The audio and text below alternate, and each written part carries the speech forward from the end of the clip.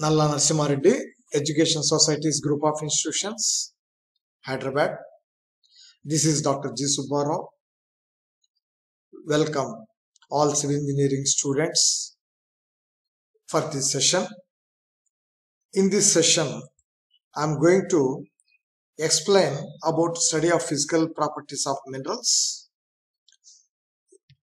In this class, only forms are explained.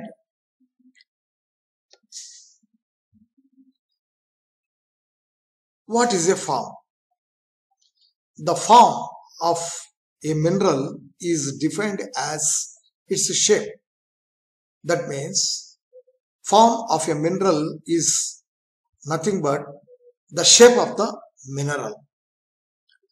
When minerals form in environments, they commonly develop uh, into regular geometric shapes called as crystals, which are bounded by smooth uh, faces.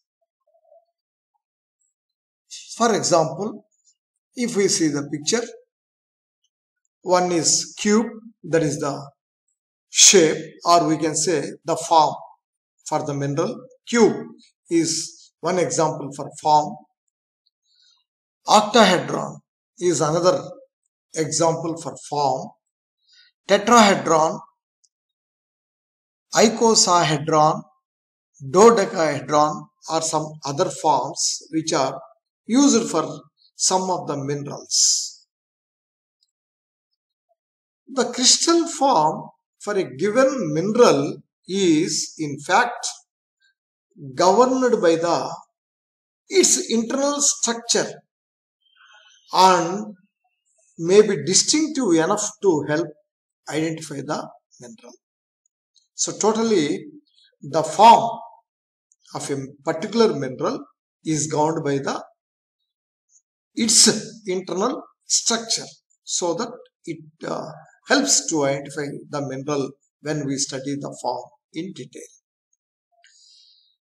Coming to shape of the crystal or a mineral, we usually say euhedral, subhedral and anhedral. In case of euhedral, we can see the faces, how they are developed. In such a case, it is called as euhedral. And if there is no face at all, in case of C, in such a case, it is called as anhedral. And sometimes a crystal is developed partially with the faces. In such a case, it is called as subhedral.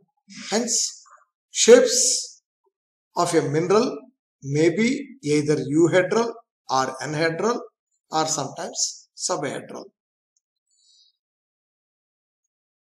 This is a mineral amethyst. Beautifully, the faces are developed. Hence, its form is euhedral. It's very clearly shown in the both the pictures. Garnet, another mineral, is a spessartite variety in garnet. All the faces are well developed. I mean, rhombohedron faces are developed, and we can say euhedral form. This is agate. Here also the faces are developed, not so well, but however one can identify the face.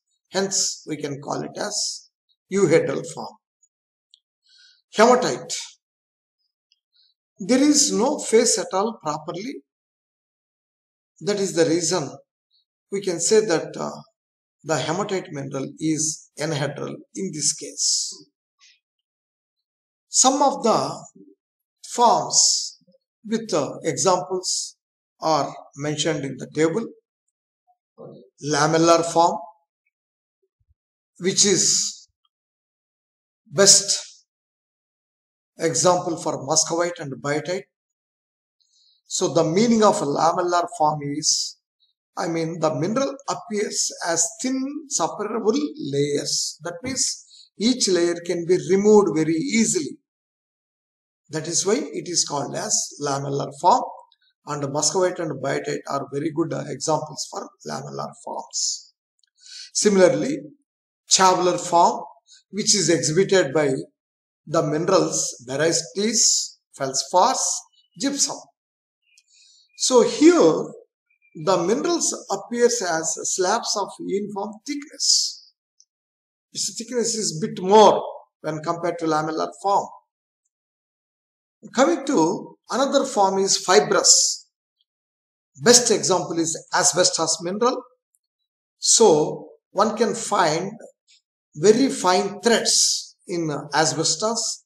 That's why the name fibrous has come for fibrous form. Similarly, pisolitic form for bauxite, rhombic form for garnet, that means rhombic shape, bladed form for kyanite. So, kyanite is the peculiar mineral where it has so many independent blades or latch-shaped grains can be seen. That's why kyanite exhibits bladed form. Also, we can see granular form for chromite, graphite, magnetite, calcite. We can find uh, granular form.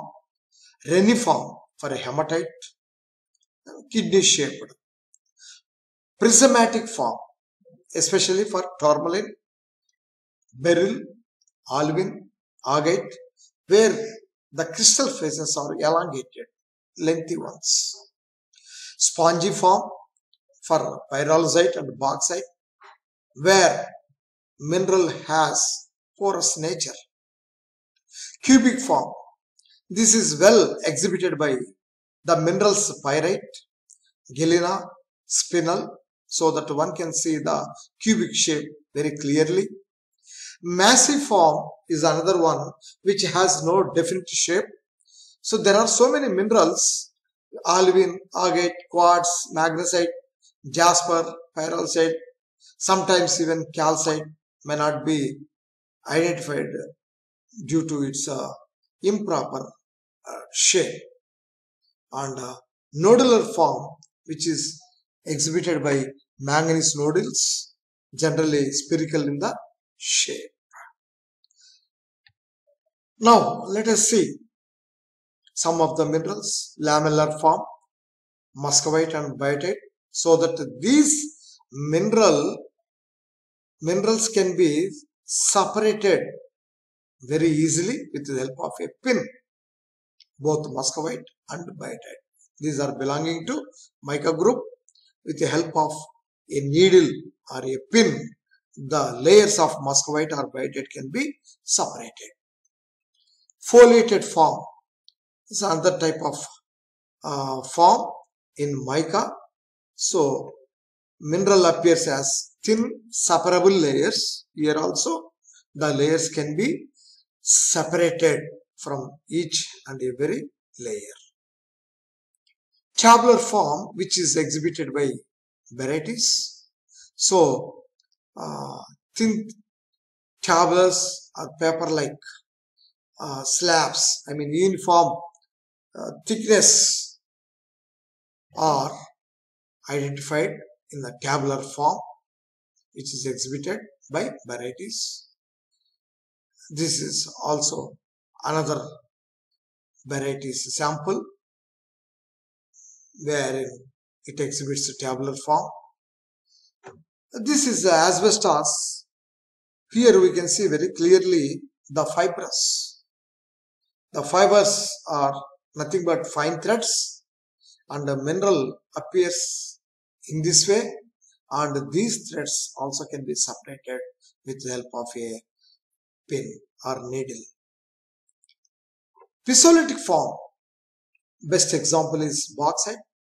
So where the mineral appears as spiracles, one can find spiracles or ellipsoidals.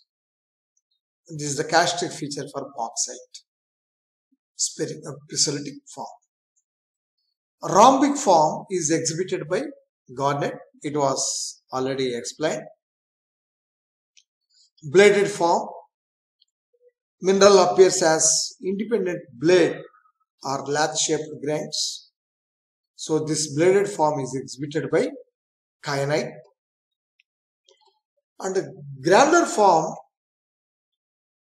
equidimensional grains of coarse or medium or fine grain can be seen and uh, which is exhibited by chromite. So chromite exhibits granular form. So many equidimensional grains of coarse or medium or fine can be seen. Hematite, which is usually occurs in kidney shape, hence we can say hematite exhibits reniform. It occurs in kidney shape. And hematite also occurs in a different uh, form or a different shape that is called as botryoidal shape. Botryoidal means nothing but a, a accumulation of grapes in such a way. It's very similar to grapes, how the grapes are hanging from the top. Hence it is called as botryoidal form. Tourmaline, another important mineral which occurs as prismatic. That's why tourmaline exhibits prismatic form. They are very sharp. The needles are very sharp. Pyrite always occurs as cubic. Hence, we can say pyrite has cubic form or cubic shape. One can see the cubic form of pyrite very clearly in the picture. Spinel, of course, it may be available both in cubic as well as octahedral in shape. That's why spinel form is either cubic or octahedral. This is quartz is a massive form occurring in uh, a different color hence it is called as rose quartz which has no face hence we can call or we can say quartz exhibits massive so its shape is massive the manganese nodal type is a uh, similar to noodles. Hence, we can say manganese form is noodle. This is a mineral called rutile where it uh, appears as needles. That's why we can call it as acicular form. This is a mineral fluorite. is totally crystallized. Hence, the form is crystallized. That means all the faces are well developed in all sides. Copper sulfate, beautiful crystals can be seen in all sides. That's why its form is crystallized. These are some of the gemstones. So, some of the gemstones are having faces. Some of the gemstones are not maintained uh, the shapes or forms. Already we have seen garnet for example, rhombohedron shape. These are also another set of gemstones in the top row pyrite is seen. Pyrite occurs in cubic shape. That's why its form is cube. And quartz, which is massive form, since it has no proper shape. Rose quartz, which is also a massive form. Thank you.